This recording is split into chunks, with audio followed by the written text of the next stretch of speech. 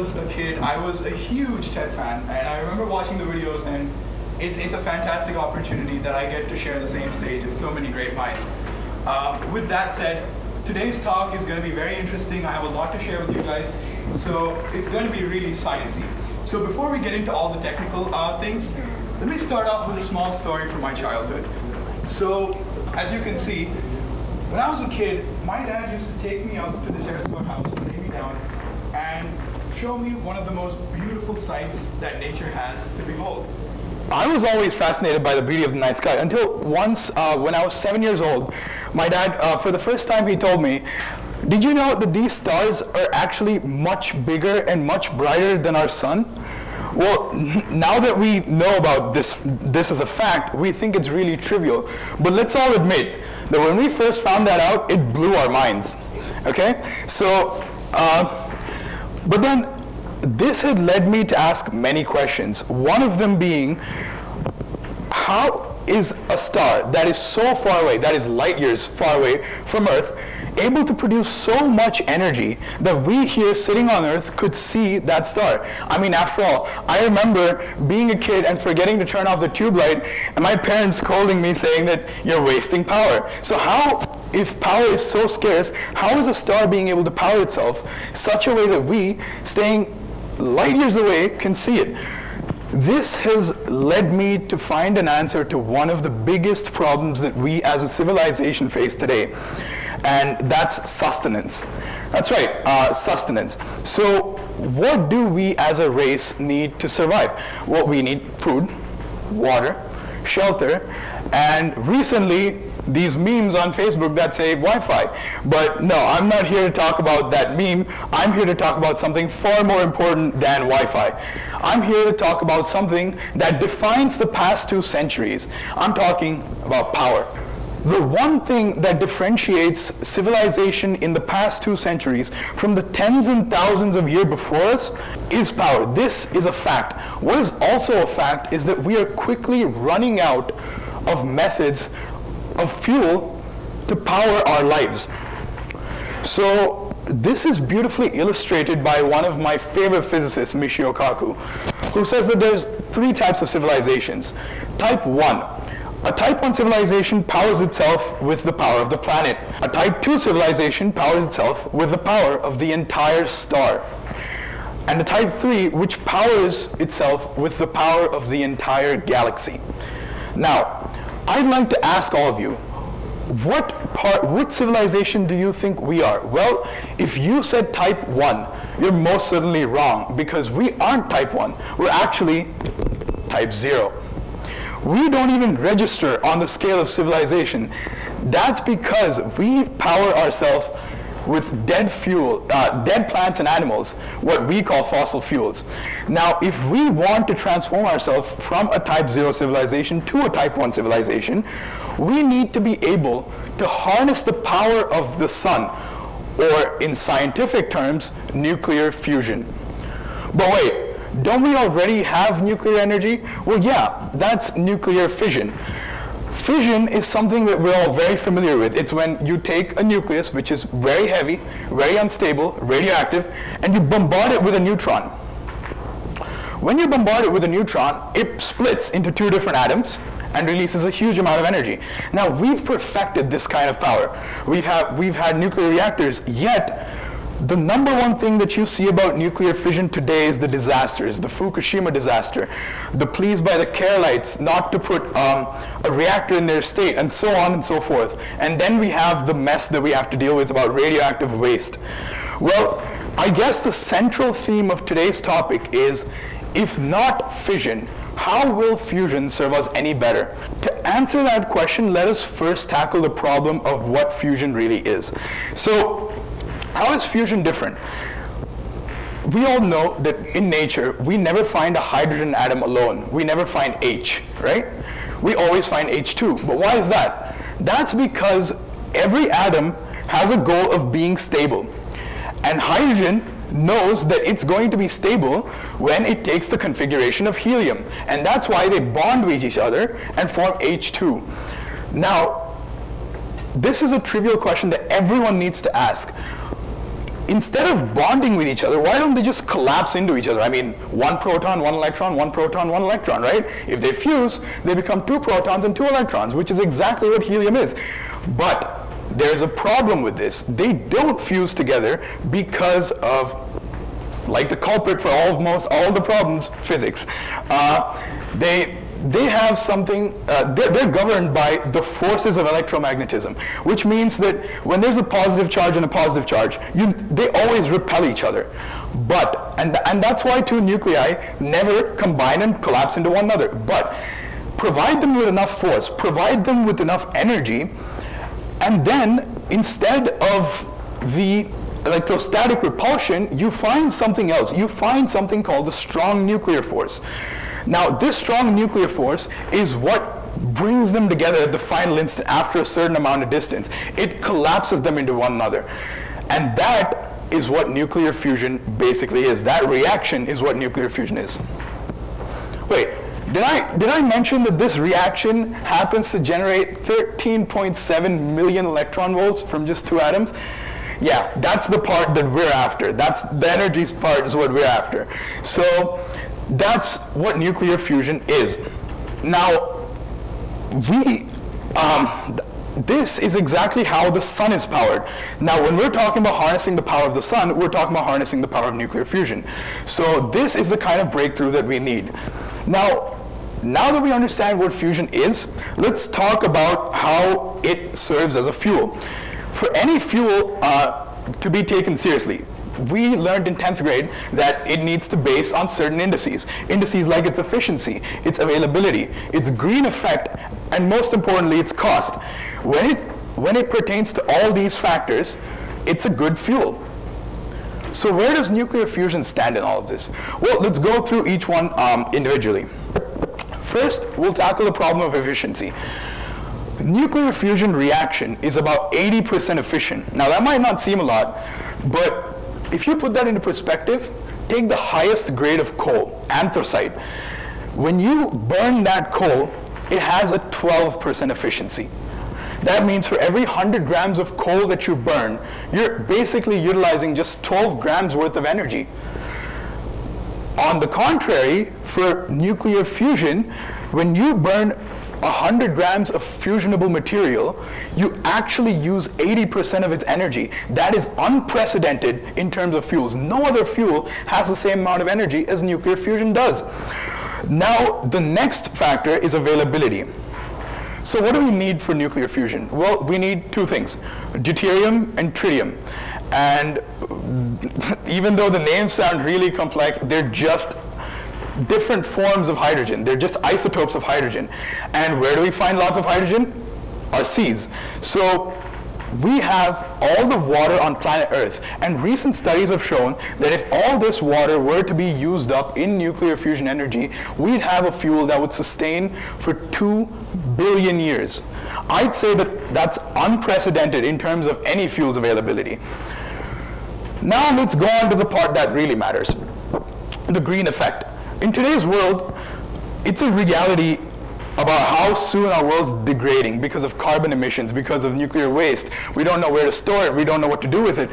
In today's world, every fuel needs to come with a green effect. Now, what now, considering nuclear fusion, when a fusion reaction happens, the only byproduct that it generates is pure energy. And when it generates pure energy, it's the ideal green fuel because it has no byproducts. In fact, scientists have gone so far as saying that nuclear fusion is the single-handed most uh, green efficient technology there is, even more so than solar power itself. Now, I know what you're all thinking, and if you don't, I'd be surprised. Why are we using fusion right now? Why aren't we doing this to power our plants? Why aren't we doing this to power our lives? Well, every story has one big twist, and here the twist, and here the problem for nuclear fusion and making it a reality is the cost of it. When we talk about cost, nuclear fusion becomes a reality. Nuclear fusion is so costly because it's just so hard to achieve. For when you look, uh, sorry, for those of you who have actually followed the story of nuclear fusion, that is, uh, the concept of nuclear fusion originated in the 1920s. Uh, back then, they said that in 30 years, we'll have nuclear fusion. In the 1950s, they said, no, no, no, it's actually 30 years later. And 30 years later, they said 30 years later. But here we are in 2015, and we still aren't running on nuclear fusion. Well, now I know what you're all thinking. This fuel sounds great on paper, like many other fuels, but it isn't practical. And there's been no development. That's wrong. Nuclear fusion hasn't been stagnating since 1920, contrary to popular belief. Now, to prove that to you, to put that in perspective, let me just pull out something from my pocket here. Uh, how many, before that, how many of you have heard of Moore's Law? Moore's law is a very famous law that states that the number of transistors on a square inch doubles every two years. Even though it's all uh, mind-boggling, what it basically means is that we are developing our technologies at an ever higher rate, which basically means that the smartphone that I have right now in my hand has more computing power than that of the entire NASA's team when they sent the first men to the moon and successfully got them back. My phone has more computing power than the whole team. And this progress has been, uh, has been given to us in just three decades of development. Now, you, you would think that the Moore's Law is one of the most fastest laws and the growth is evident. But what if I tell you that nuclear fusion develops at the same rate as that of Moore's Law? If you see that graph, you can see that they're both on the same axis. The development in nuclear fusion is same as that of Moore's law. Which means that even though we can't see its development, it is developing at a very, very high pace. And before I go into the next topic, I'd like you all to pay attention to where that graph ends at 2005. Keep that at the back of your mind, and on the top of the graph, if you see the break-even line, I want you to keep that uh, line in mind. The graph basically says that we'll achieve this break-even line somewhere in the next decade. Okay, so with that in the back of your hand, now you know that fusion is a great fuel on paper. It's also been progressing at a very, very high rate. But why aren't we able to practically do it? That's the question that's on our mind. Because when we're talking in terms of reality, it is so hard. And just to give you an idea of how hard it is, the only way nuclear fusion is done is through something called inertial compartmental fusion. Now what this means is essentially you take fusion fuel, hydrogen, and put it into a small table tennis uh, ball-like structure, and then you provide immense heat to that ball, that canister. The heat is so intense that the speed of the nuclei rises to such an extent that the strong nuclear force overcomes the, um, the electrostatic force, and then fusion happens, as you can see in the diagram over there. But we don't know how much heat to produce. That heat is what is required for fusion to happen. 150 million degrees centigrade. Not something your average stove can do. So you can see why this is a problem. Um, so that is the biggest problem. But, and here's a fair warning to all the Star Wars fans in the audience, if you're into lightsabers, if you're into lasers, you're gonna absolutely love the next part because it has to do with exactly that. This is a 50 milliwatt laser, right? Uh, it's a handheld laser, and uh, I'd like to show you guys a video, and this is because physical demonstration is not possible uh, in an indoor area. I'd like to show you a demonstration of what this laser with just 50 milliwatt of power can do. There we go. So basically what happened there is, with just light, nothing but light, we were able to fire matchsticks from a distance. And with this 50 milliwatt laser, I can even etch on black surfaces and put holes in black plastics. Now, with this in mind, ladies and gentlemen, I'd like you for a moment to think about this.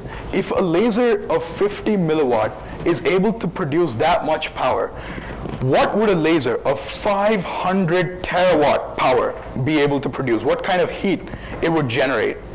500 terawatt is 500 terawatt is 5 with 17 zeros after it in terms of milliwatts. Just try to imagine the kind of heat that would produce. Now, this is exactly the kind of laser system that's at work at the NIF in California. NIF stands for National Ignition Facility. Now what they've tried to do is achieve inertial compartmental fusion using the same way that this laser is built. They focus thousands of lasers onto a tiny canister so it gets so heated that fusion occurs. Now why is this important? Well, I asked you all to remember um, the graph, right? In 2005 and the break-even energy. Uh, what happened is in 2013, for the first time in the history of nuclear fusion, we have not only broke even on the power that we have supplied, but we have actually gotten more power from the reaction than we have put in for the first time ever. We broke the graph. Now, what this means is that we've essentially successfully been able to do fusion. And finally, we can actually say that it's not 30 years away, but rather just five years away. But what is five years away? Something called ignition. That's what the I in NIF stands for. Achieving ignition is when the lasers uh, the, the, nuclear fusion produces so much energy that that in turn powers the lasers, which in turn runs the system, which gives more energy, and you can see how that's a big cycle, and how we can harvest unlimited amounts of energy from that cycle. That is the goal of the NIF, and it is going to be a reality somewhere around 2020 for the first time, and fusion is not 30 years away. Ladies and gentlemen, um, nuclear fusion is the breakthrough energy if we want to develop into a type 1 civilization instead of fizzling out as a type 0 civilization. When we ask ourselves, are all the billions of dollars that we spend on nuclear fusion worth it? Let's try to answer that from the perspective of someone living 100 years in the future us as a race, humans, we've never been scared to invest in the hopes of a better return. But today, we stand at the altar of a paradigm shift to lead us into a new generation of powering ourselves. Let us be the brave pioneers that have taken this approach and gone far into the future. I'd like to end or summarize this, um, uh, this documentation with the quote of Albert Weinstein, who beautifully said, discovery consists of seeing what everybody has seen and thinking what no one else has thought. Thank you very much for this opportunity.